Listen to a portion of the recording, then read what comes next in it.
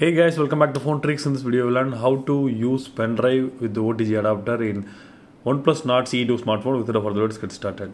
First of all, we need this adapter. Then we need to insert the pen drive into the adapter.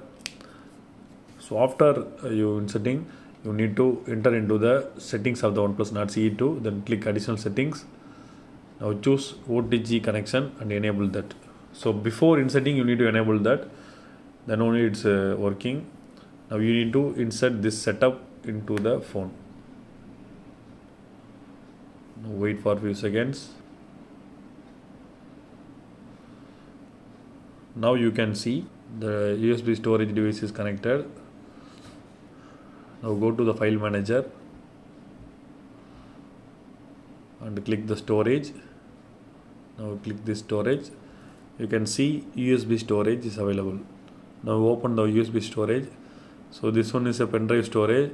If you want to copy any file from the pen drive you need to click and hold on the file and then click the three button then click copy then click internal storage then paste.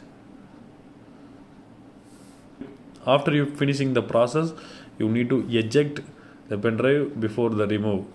So you need to click on the eject wait for a few seconds and remove the pen drive. So that's all guys.